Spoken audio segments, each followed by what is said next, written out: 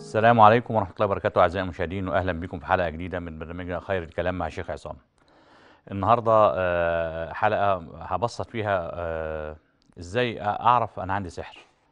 يعني كل الناس بت- بتعاني من مشاكل ففي حاجات عارفينها وفي حاجات آه، بيجهلوها. فأنا النهاردة جاي أقول إزاي تعرف إنك عندك سحر وإزاي تعالجه وإزاي تعرف مين اللي سحرك.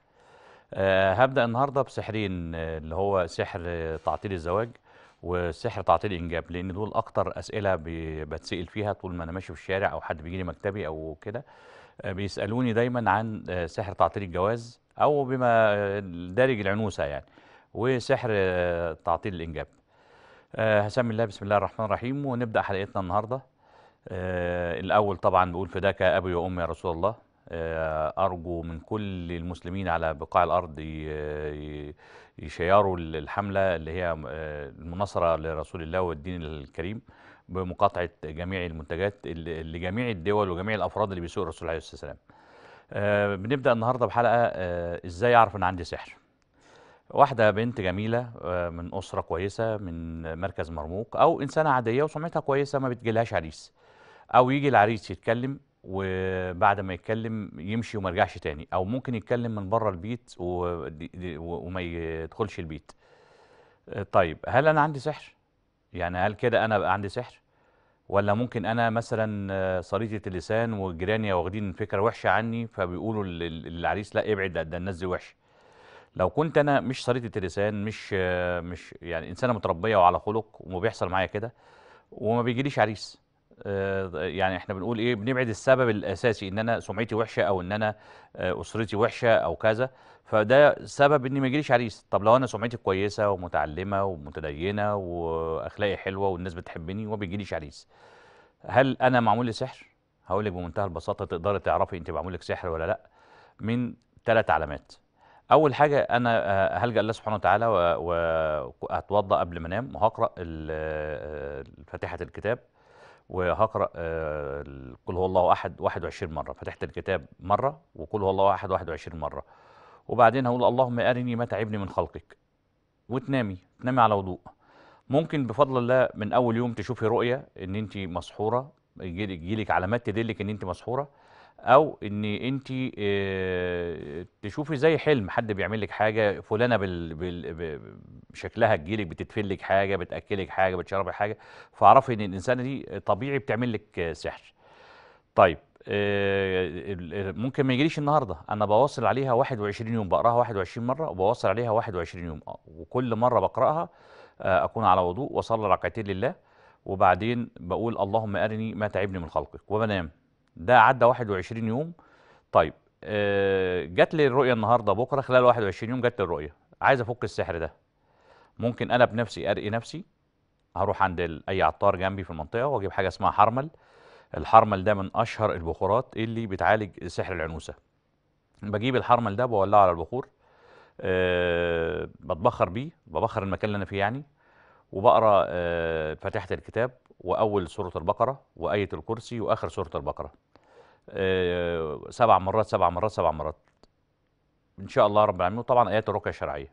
آه، اللي يتابعني على صفحتي هيلاقي ال- الحاجات دي موجودة كلها. آه، ده علاج آه، وقائي ممكن أقرأه قبل ما يحصل لي سحر وممكن أقرأه بعد يفك السحر اللي عليا. آه، ده أنا مش يعني ممكن أعمله النهارده وربنا يتقبل ويتفك ممكن أعمله بكرة بداوم عليه. يعني أنا أداوم عليه لحد ما حالي يتحسن. أو اللي عنده أي استفسار أو مش عارف يعمل كده هيتصل عليا على 011 آه، 0 آسف آه، 1000 331 771 01000 331 771 الرقم اللي قدامكم على الشاشة ده. آه، استشارات مجانية طبعا آه، الاستشاره لوجه الله. بقول لك العلاج تتعالج إزاي؟ ولو في حاجة صعبة مش هتعرف تعملها أنا بعملها لحضرتك. آه، دي دي نمرة واحد. إن أنا آه، أول حاجة أنا عايز أعرف آه، مين اللي عمل لي سحر أو أنا مسحور ولا لأ. فإحنا قلنا هنقرأ الآيات دي 21 مرة لمدة 21 يوم. طب هل في علامات؟ مش محتاج إن أنا أعمل كده. في علامات ظاهرة بتدل إن أنا فعلا معمول لي سحر؟ آه في ثلاث علامات. أول حاجة آه، تساقط الشعر. شعري بقوم من ألاقي شعري بينزل في المشط كده بغزارة.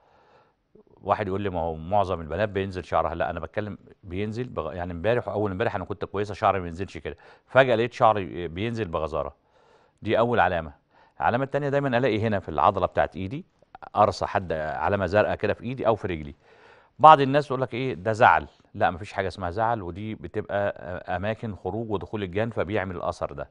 علامة زرقاء أو بنية على على إيدي أو رجلي. آه، نمرة اتنين أو أو نمرة ثلاثة بقعد في الحمام فترات طويلة قوي. حتى أنا ببقى عايز أقوم ومش عارفة آه، إذا كان راجل أو ست. أنا قاعد في الحمام مدة طويلة جدا ومش قادر أقوم. آه، الناس بيلاحظوا عليا إن أنا بخش الحمام بغيب قوي. في بعض الناس بتغيب في الطبيعي بس مش لدرجة المسحور دايما بيغيب في الحمام فترة كبيرة جدا.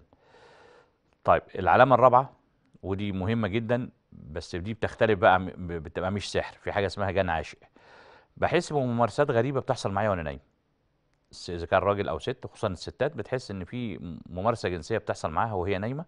ده بيكون راجع اللي في حاجة اسمها جان عاشق. وجان العاشق ده بيبقى جان مسيطر على ال- المريض أو على الحالة. بيعاملها معاملة الأزواج.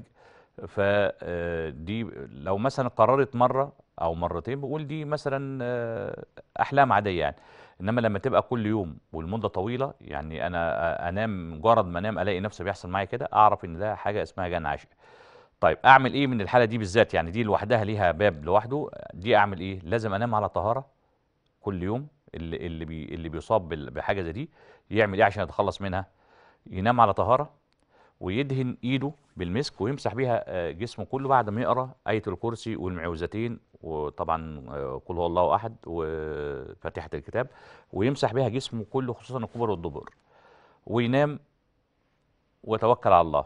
بإذن الله عمره طبعا أهم حاجة يدهن مسك كويس ويدهن جسمه كله. طب أنا ما بحبش ريحة المسك معلش استحمليها في حاجات كتيرة ما بنحبهاش وب- وبنضطر نعملها. آه، ده بيحفظك إن ما يقدرش الجان يعمل معاكي حاجة زي كده أثناء النوم.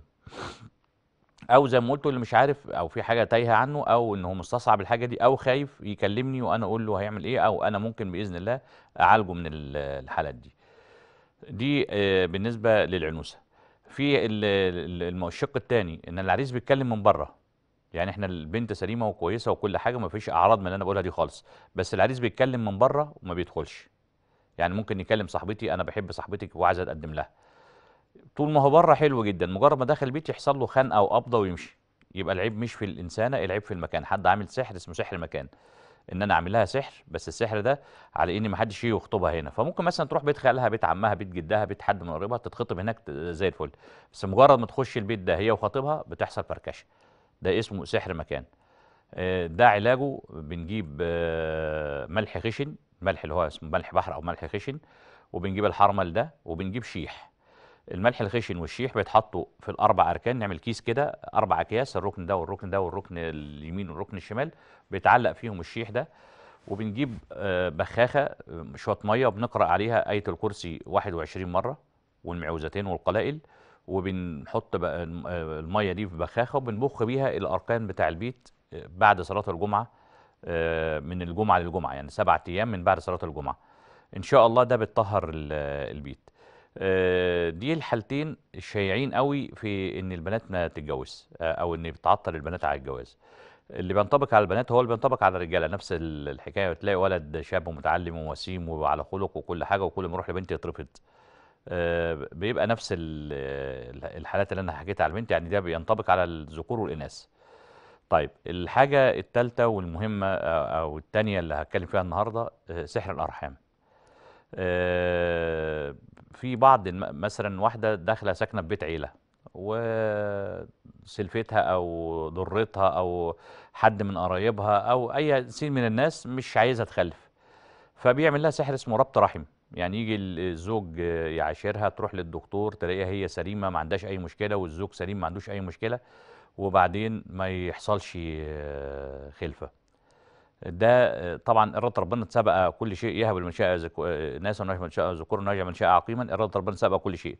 بس إحنا بنتكلم في الطبيعي الحاجة المنطقية يعني أنا سليم ومراتي سليمة ففي إيه مش آه، مش مش بخلف ليه. أنا كويس عندي حيوانات منوية آه، عندي نشاط عندي كل حاجة الحمد لله كويسة وما فيش حاجة ما بتتم لي خالص. يعني أنا جربنا كل حاجة. حتى في ناس بتجرب تعمل طفل أنابيب مرة واثنين وثلاثه رغم إن هي سليمة والزوج سليم ومرة واثنين وثلاثه يعملوا طفل أنابيب ما فيش حاجة. ده اسمه سحر ربط رحم. السحر ما بيستقبلش الحيوانات المنوية. يعني المفروض الحيوان المنوي بينزل من الذكر يوصل للأنثى يخش المبيض يخش على قناة يوصل للبويضات ويحصل تلقيح. لا ده من على باب الرحم بينكب بره يعني. ببص في بعض الرجال بتقول ده أنا بشوف المني بتاعي بينكب بره هو ده بيبقى اسمه سحر ربط رحم. أو السحر الثاني إني أنا بموت الحيوان المنوي اللي هو الساحر طبعا مش أنا نعوذ بالله. الساحر اللي لجأ له الشخص ده بيموت الحيوان المنوية في الزوج. الزوج نفسه يجي يقول له أنت الحيوانات المنوية عندك كتيرة قوي بس ميتة. آه طيب أنا بعمل تحاليل بعمل فحوصات بلاقي ما عنديش سبب آه لل لإن الموضوع ده يموت الحيوانات المنوية. يعني أنا صحتي كويسة الفيتامينات عندي كويسة كل الهرمونات عندي سليمة. يبقى ما فيش سبب لموت الحيوانات المنويه يبقى هنا في سحر بيموت الحيوان المنوي في قلب الخلية بتاعته. يعني مجرد ما ينشأ يموت. في حيوان منوي؟ آه في كتير حيوان منوي. 20 مليون و50 مليون و100 مليون و300 مليون بس بينزلوا ميتين فده آه برضه بيبقى سحر. طالما إحنا لجأنا للدكتور الأول اللي هو المختص وقال أنت ما عنديش مش شايف لك سبب يخلي الحيوانات المنويه دي تموت. فده سحر. هنتخلص منه إزاي؟ هنجيب هنجيب آه حاجة فيها مية حلة مية مثلا وهنقرأ عليها آية الكرسي سبع مرات والمعوذتين سبع مرات وبعدين آه هنحط فيها آه بذر رجله بذر الرجلة العادي جدا ده من عند أي عطار. ولو يفضل لو الرجلة الخضراء الرجلة اللي هي بتطلع مع الملوخية دي لو حد ما يعرفش الرجلة في نبتة بتطلع مع الملوخية كده اسمها رجلة. هتتخرط زي الملوخية إذا كانت خضراء هتتخرط زي الملوخية وتتحط في المية بينها وبين ما فيش سقف ما يكونش فوق منها سقف. إخواننا الفلاحين بيقولوا عليها تتندى أو تتنجم. أه تبات الليلة دي وبعدين تاني يوم الصبح أه بيستحمى بيها الزوج والزوجة. يشرب منها كوباية مية بعد ما تتصفى من الرجل يشرب منها كوباية مية على الريق أول حاجة تخش معدته والزوجة كذلك وبعدين يستحموا بيها بره الحمام. والمية اللي تفضل تترمي بعيد عن الرجل يعني مكان تترمي في زرع أو في مية جارية بعيد عن الرجل. وإن شاء الله بإذن الله ده علاج مجرب ومضمون جدا. طبعا مع البخور هيكون في بخور جاوي وفي حرمل يعني بعد ما بخر بالجاو هحط عليه حرمل. الحرمل ده رخيص مش غالي والجو رخيص مش غالي يعني. أي استشارات على رقمي الموجود على الشاشة 01000 331 771 أنا بكرر الرقم لأن في بعض الناس من أهالينا ما بيعرفوش يقروا فأنا بكرر الرقم دايما على القناة عشان لو حد محتاجني يبقى سهل عليه الوصول. ده سحر تعطيل الأرحام. في حاجة تاني الست بتحمل وتسقط. ده شائع قوي. توصل للشهر الرابع أو شهر معين الرابع أو الخامس وتسقط. ده اسمه سحر ربط رحم. الجنين محتاج لما ينمو الرحم بيكبر معاه عشان يستوعب كبر الجنين. يعني الأول بيبقى مضغة وبعدين علقة وبعدين يكبر يكبر فالرحم لازم يكبر معاه عشان يستوعبه.